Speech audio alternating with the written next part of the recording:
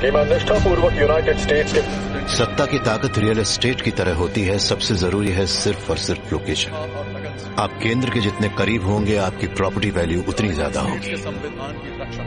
आज से कई सदियों के बाद जब लोग ये वीडियो देखेंगे तब स्क्रीन के कोने में मुस्कुराते हुए खड़े किसे देखेंगे? ईश्वर मेरा साथ दे। कंग्रेचुलेशन